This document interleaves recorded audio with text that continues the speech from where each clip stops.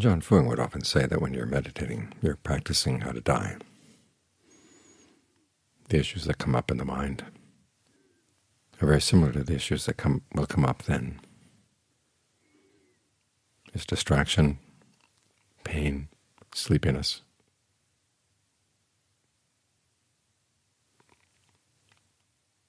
So it's good to learn how to deal with these things right now. Because otherwise they'll get in the way. That's the other part of preparing for how to die, is seeing the Buddha's analysis of what happens. We talk about mindfulness of death. We focus on the fact that it could come at any time. But you could take that fact and do a lot of different things with it. One common attitude is, of course, eat, drink, and be merry, for tomorrow we may die. In other words, try to stuff your time up with as many pleasures as you can. And if you had no control over the mind at all, and if the course of the mind didn't make any difference at death, then that would make sense. But in Buddha's analysis, the mind is making choices at that point. And the problem is it's often making them under the power of aversion. Doesn't want to die, but it can't stay in the body anymore. And there's a lot of ignorance. And on top of that, there's desperation. That's the big difference between meditating and dying. With meditation, you can choose. Are you going to meditate right now? But when the time for death comes, you can't choose. You have to drop everything and be ready to go. So what skills we need? One is dealing with the distraction. You've got to keep your mind focused, because as the Buddha said, if we're going to be reborn, and for most of us that's what's going to happen, very few of us don't have to be reborn. But if we're going to be reborn, it's in line with our clinging and craving. The image he gives is of fire going from one house to the next, and it's blown from one, the first house to the second house through the wind. At that point they believed that the fire actually clung to the wind, was sustained by the wind. And here we cling to craving. And what you crave will determine where you're going to go. That's a scary thought because our cravings are often out of control.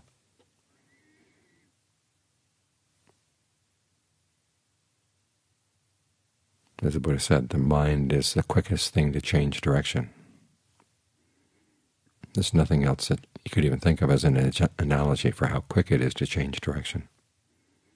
So to keep it from changing direction in the wrong way, you've got to have very firm control over getting it pointed in the right direction, what the Buddha calls having yourself rightly directed, and then being mindful enough to keep it in that direction. So right now, as you find yourself sitting with a breath, and then suddenly someplace else, ask yourself, here I am sitting perfectly fine. The body's relatively healthy. And then look what the mind does. What are the warning signs? What are the warning signals? How do you know when it's going to head off to someplace else? And how do you talk it out of doing that? Because often there will be a little signal inside. As soon as the boss isn't looking, let's go. And then it stops.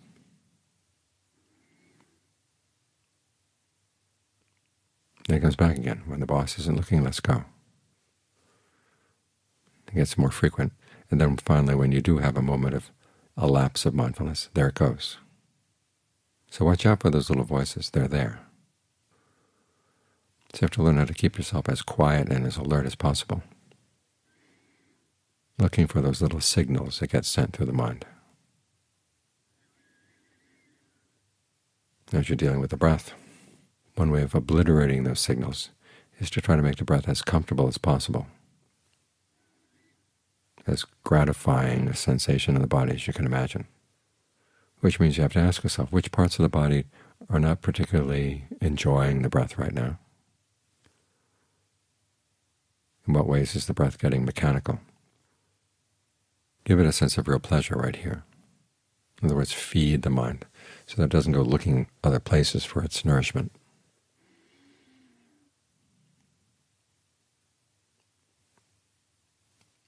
With pain, you have to be able to separate your awareness of the pain from the pain itself. And a lot of this has to do with how you talk to yourself about the pain. First, of course, is the conversation that says, this shouldn't be here, I don't want this. But they say, well, there it is, what are you going to do? And you can take medicine sometimes and it will go away, but other times it just doesn't go away.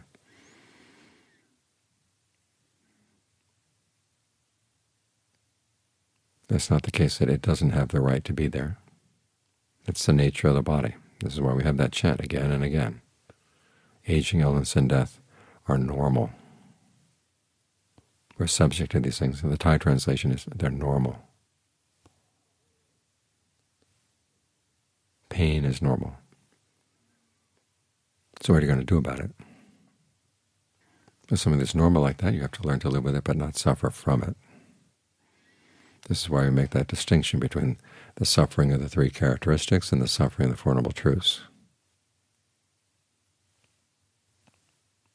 Fact, the things are fabricated means they're going to be stressful.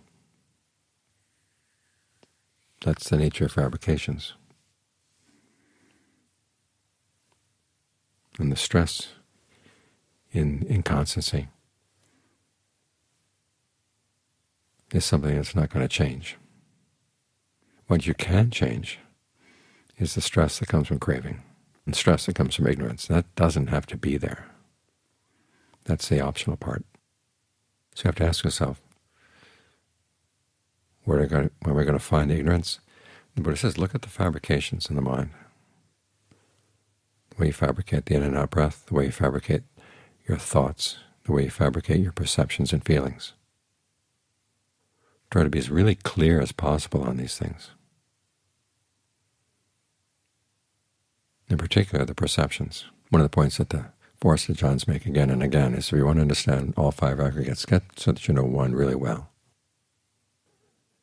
And the one they all seem to focus on is perception. Seeing how arbitrary your perceptions are can help loosen up a lot of the firm assumptions you have about things that are making you suffer. This has got to be that way, that has got to be this way. But if thinking that things have to be a partic that particular way is making you suffer, why hold on in that way? There must be another way to approach things so that you don't have to suffer. Remember, right view. Arahants right have right view, and they don't suffer. They're with pain, but they're not suffering from it. They're with difficult situations in life, and they don't suffer from them. So the fact that you're suffering means that there's a wrong view in there someplace.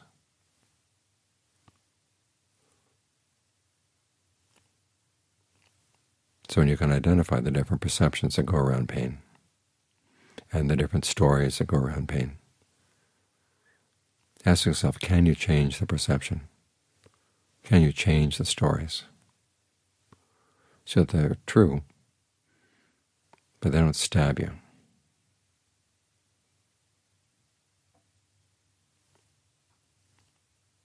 Because when death comes, it's going to be a lot of pain. That, for a lot of people, is why they can't stay in the body. It just gets too painful. They're being pushed out. And again, because there's a sense of desperation that goes with that, they'll just jump at anything. That's not a position you want to be in.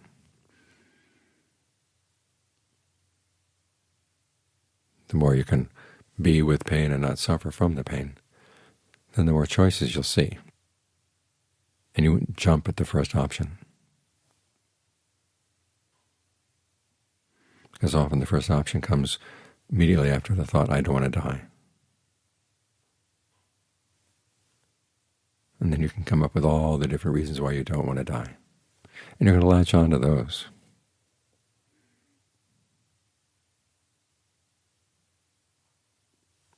You've got to tell yourself, okay, it doesn't matter whether you want to or not, it's happening. You've been practicing all this time. Bring out your skills.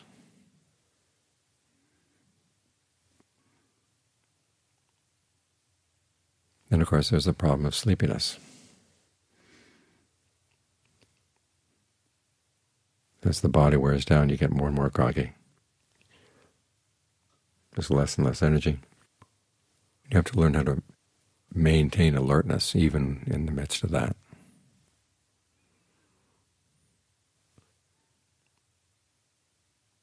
One of the better techniques I found is to take an interest. What are the signs of the body that tell you, okay, I'm getting sleepy? What are the sensations around the eyes? What are the sensations in different parts of the body that you take as signs you've got to sleep? And question them.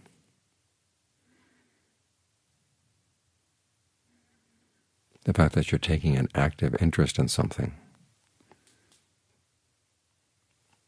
can help at least to keep a lot of the sleepiness at bay. Now, if it so happens that you die in your sleep, apparently what happens is that you wake up enough to know that you're dying.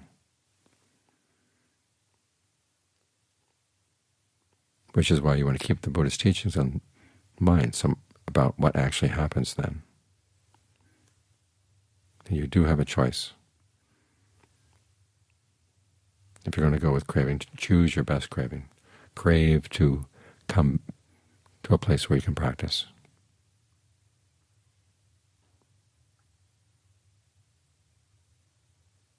This is one of the reasons why the Ajahns like to recommend a meditation word. To hold that in mind. Because at that point, there's a lot you can't hold in mind, but a simple word like that you can. And that word will have been invested with a lot of meaning. Buddho, awake, is their favorite one, but you can use any that has some meaning for you. That acts as a signal to remind you of what needs to be to be done, that will wake you up. So the mind is in a position where it can make a good choice at that point.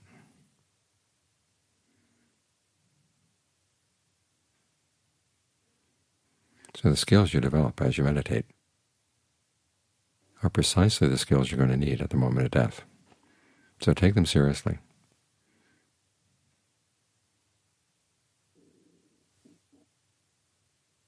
Give your full attention to mastering them. And this is one of the reasons why we practice concentration, is to give the mind direction. That's the most important thing you're going to need at that point.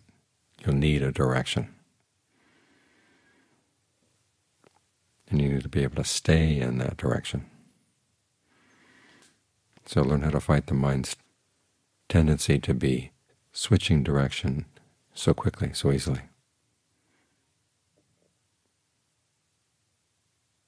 That's probably the most important skill you can muster. It requires a lot of mindfulness, a lot of discernment. But these are precisely the things we practice, we develop, as we point the mind at the breath and keep it there.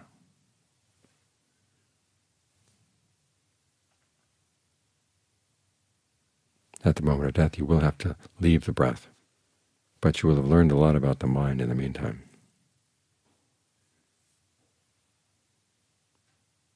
And that should be enough to keep you headed in the right direction.